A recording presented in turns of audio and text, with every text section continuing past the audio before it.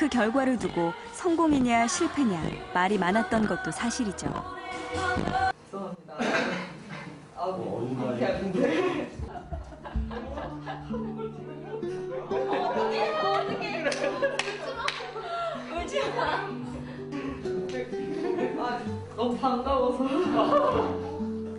다시 시작하는 한국 활동에 대한 기대와 긴장이 교차되기 때문일까요?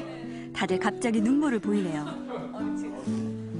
저희가 이제는 의견을 내는 입장이고 저희의 생각이 반영이 되는 입장이다 보니까 정말 회의도 매일같이 정말 밤낮하고 같이 컨셉 잡고 같이 음악 만들고 그러면서 이걸 과연 대중분들이 사랑해 주실까 그런 생각을 되게 많이 했었는데 아왜 이렇게 주책맞게 첫날부터 이렇게 울면 안 되는데.